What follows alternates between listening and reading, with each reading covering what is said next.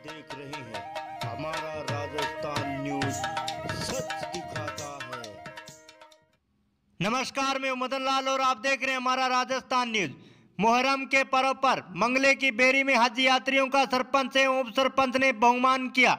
आइए देखते हैं रिपोर्ट।